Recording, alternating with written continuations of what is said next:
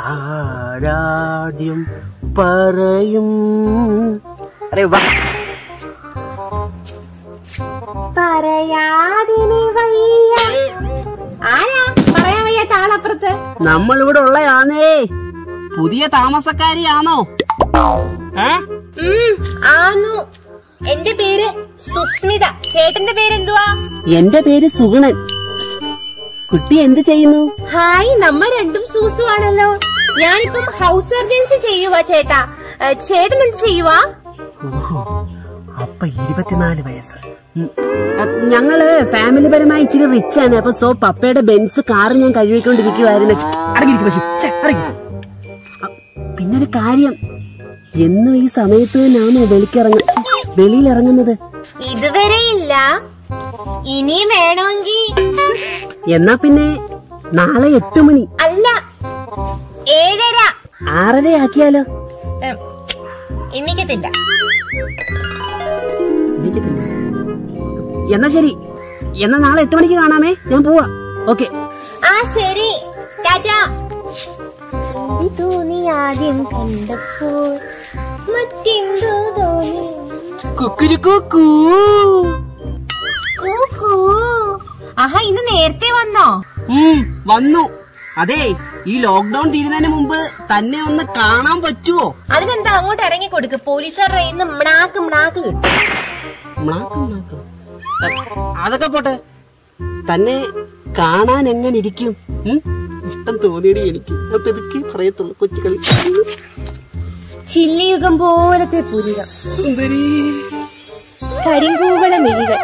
എള്ളുംപൂ പോലത്തെ മൂക്ക് തൊണ്ടിപ്പഴം പോലത്തെ ചുണ്ട് നല്ല മുല്ലമൊട്ട് പോലുള്ള പല്ല് പനങ്കുല പോലത്തെ മുടി മൊത്തത്തിലൊരു ആന വെരി നൈസ് പിന്നെ എനിക്ക് ഇയാളോട് ഒരു കാര്യം പറയാനുണ്ട്.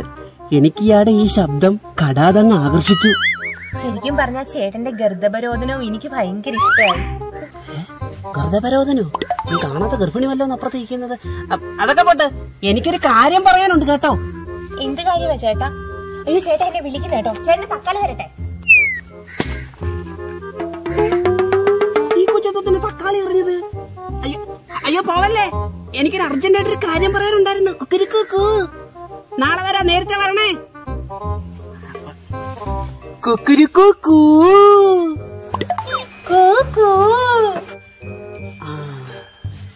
ഇന്ന് ഞാനേ ബർമുടയും ടീഷർട്ടും ഇട്ടേക്കുന്നത്.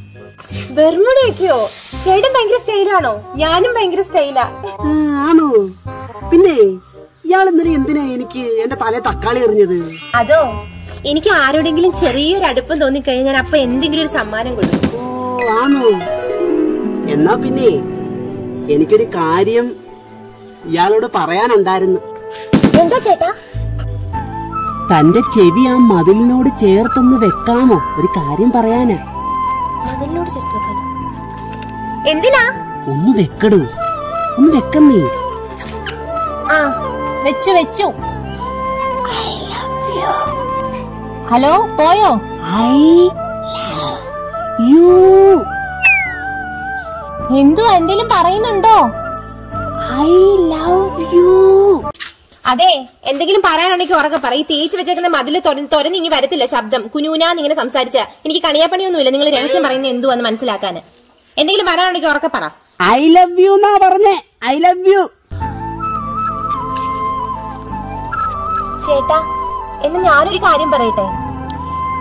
എനിക്ക് ചേട്ടനെ ആദ്യം കണ്ടപ്പോഴേ തോന്നിയായിരുന്നു ഒരു പരിസ്ഫുരണം. പരിസ്ഫുരണോ? സാധനം. ചേട്ടന് മാങ്ങ വേണോ? എന്തോത്തിന് വെച്ചേ മാങ്ങ എറിഞ്ഞ നീ ഇപ്പം? അതോ? എനിക്ക് ആരോടെങ്കിലും ഒരു ഇഷ്ടം തോന്നിയാലേ ഞാൻ അപ്പൊ എന്റെ കയ്യിലിരിക്കുന്ന സാധനം സമ്മാനമായിട്ട് കൊടുക്കും. ഇന്നലെ എന്റെ ഈ തക്കാളിയായിരുന്നു. ഇന്ന് എന്റെ ഈ മാങ്ങയാ? അതുകൊണ്ട് ഇന്ന് മാങ്ങ തന്നെ? എന്നാ എനിക്ക് ഇഷ്ടമായി സത്യം. ഇപ്പൊ തൊട്ട് നമ്മൾ തമ്മിൽ സ്നേഹത്തിലല്ലേ? ചേട്ടൻ ചേട്ടന്റെ സ്വപ്നങ്ങളെ പറ്റി പറ.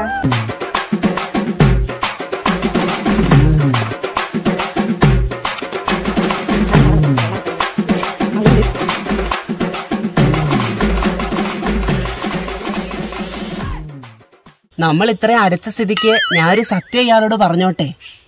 എനിക്ക് ബെൻസ് കാറോ വലിയ വണ്ടിയോ ഒന്നുമില്ല. ഞാനും ഇട്ടുകൊണ്ട് വന്നേക്കും തന്നെ അപ്പുറത്തെ വീട്ടിലെ രാജുവിന്റെ ടീഷർട്ടും വെറുമുടയാ സത്യം പറഞ്ഞ എനിക്ക് സ്വന്തമായിട്ടൊന്നുമില്ല ജോലി പോലും ഇല്ല. എന്റെ വീട്ടിലെ സ്വന്തമായിട്ട് നാല് പശുവും മൂന്ന് കുട്ടനാടും നാല് പെടക്കോഴിയും നാല് പൂവൻകോഴിയും മാത്രമേ ഉള്ളൂ. നമുക്ക് ഇവിടുന്ന് ഒളിച്ചോടിയിട്ട് മലമുകളിൽ പോയിരുന്ന് നമുക്ക് രാപ്പാർക്കാം. നമ്മൾ മുഖത്തോട് മുഖം നോക്കിയിരിക്കുന്ന ഇയാളെ ആലോചിച്ച് നോക്കി. തണുത്ത കാറ്റ തണർകുള നിർഗുളമായി മുഖത്തോട്ട് നോക്കിയിരിക്കുന്നത്. പിന്നെ എല്ലാം കഴിയുമ്പോൾ മുന്തിരിവള്ളികൾ തളർക്കുന്ന നമുക്ക് രാപ്പാർത്തുകൊണ്ടിരുന്ന് കാണാം. എനിക്ക് ഭയങ്കര ഭയങ്കര നൊസ്റ്റാൾജിയ വരുന്നു. ഭയങ്കര നൊസ്റ്റാൾജിയ അയ്യോ ചേട്ടാ എന്നെ ആരോ വിളിക്കുന്നു. ഞാൻ പോവാണേ. യോ പോവാന്നോ? നാളെ വലിയൊരു സർപ്രൈസ് ഉണ്ട് കേട്ടോ. വലിയ സർപ്രൈസാ വെയിറ്റ് ചെയ്തിരുന്നു? കളി എന്റെ അടുത്താണ് നിന്റെ കളി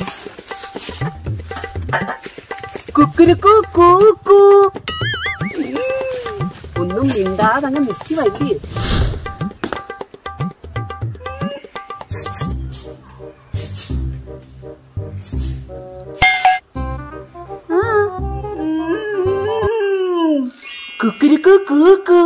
സർപ്രൈസ്. നമുക്ക് പോവാൻ പെട്ടെന്ന് വാ. പോവാനോ? എങ്ങോട്ട് അയ്യോ ഞാൻ സുസ്മിതയല്ല. ഞാൻ ഈ വീടിന്റെ ഓണറാ സുസ്മിത ഇവിടുത്തെ ജോലിക്കാരിയാ. തക്കേപ്പുറത്തെ മതിലിന്റെ അവിടെ നിന്ന ദിനേശന്റെ കൂടെ രാവിലെ അങ്ങ് പോയി. എനിക്ക് ഏതായാലും സന്തോഷമായി കേട്ടോ. അവളെ ആവുന്ന മണി അമ്പത്താറ് നോക്കിയത് ഇവിടെ നിറക്കി വിടാന്. നിന്റെ പേര് സുഗുണൻ എന്നാണോ? നിനക്കാൻ തോന്നുന്നു. ഒരു എഴുത്തുണ്ട്. നിന്നോടൊരു പ്രത്യേക സ്നേഹം ഉണ്ടായിരുന്നു തോന്നുന്നു. ഇത്രയും പ്രിയപ്പെട്ട സുഗുണേട്ട എനിക്ക് നിങ്ങളോട് ശരിക്കും പരിസ്ഫുരണം തോന്നിയിരുന്നു. പക്ഷെ നിങ്ങൾ ഇന്നലെ കൊണ്ട് പഠിക്കെ കൊണ്ടുപോയി കല ഉടച്ചു. ഞാനേ ഈ വീട്ടിലെ ജോലിക്കാരിയാ.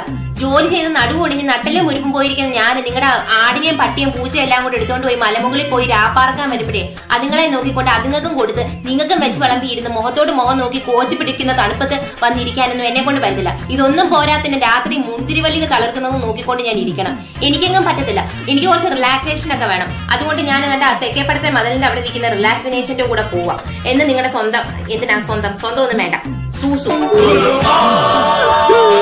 അവനവൻ കുരുക്കുന്ന കുരുക്കഴിച്ചെടുക്കുന്ന പുലുമായി